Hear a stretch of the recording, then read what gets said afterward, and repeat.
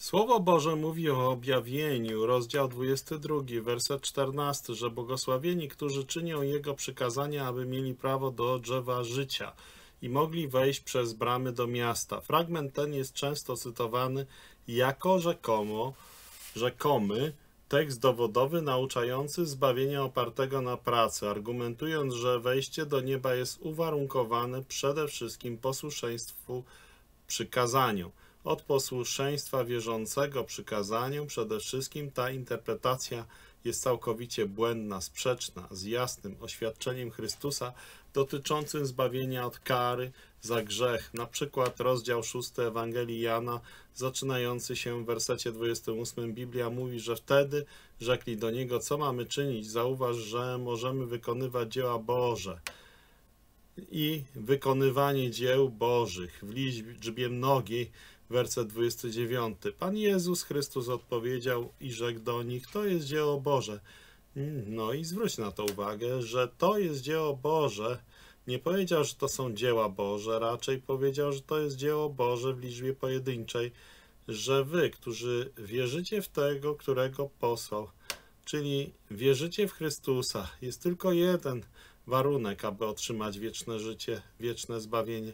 Jest tylko jeden warunek, aby otrzymać życie wieczne. Jest nim wiara w Pana Jezusa Chrystusa, Syna Bożego. Nie jesteśmy zbawieni przez spełnienie wielu warunków lub przez przestrzeganie wielu warunków lub przykazań. Przy czym kontekst 22 rozdziału objawienia wyraźnie odnosi się do prawa i nagrody uzyskanej dzięki posłuszeństwu. Spójrz na werset 12 22 rozdziału objawienia i oto przychodzę szybko, a moja nagroda jest ze mną, aby dać każdemu człowiekowi zgodnie z jego dziełem. Jestem alfą i omegą, początkiem i końcem, pierwszym i ostatnim. Błogosławieni, którzy czynią jego przykazanie, przykazania, aby mieli prawo do drzewo życia i mogli wejść przez bramy do miasta.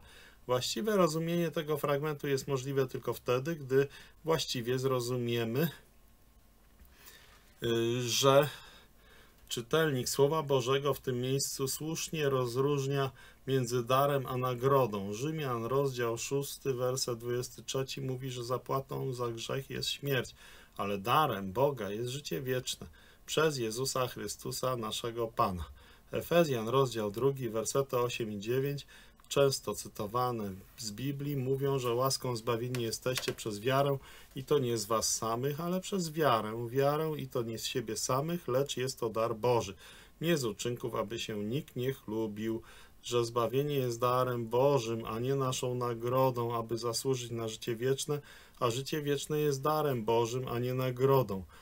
Więc widzimy wyraźnie, objawienie, rozdział 22 odnosi się do prawa i nagrody, które nabywa się przez posłuszeństwo, mając prawo do drzewo życia i wchodząc przez drzewo życia, wchodząc przez bramy miasta.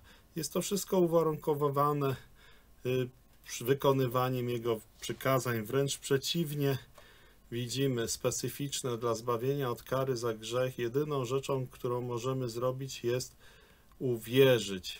Panie, co muszę zrobić, aby być zbawionym? A oni odpowiedzieli: Uwierz Pana Jezusa Chrystusa, a będziesz zbawiony, ty i twój dom.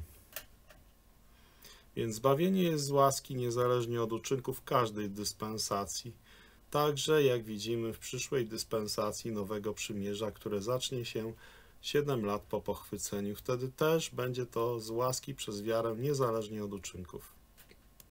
Jeśli jeszcze nie jesteś zbawiony, to uwierz Panu Jezusowi, a będziesz zbawiony raz na zawsze.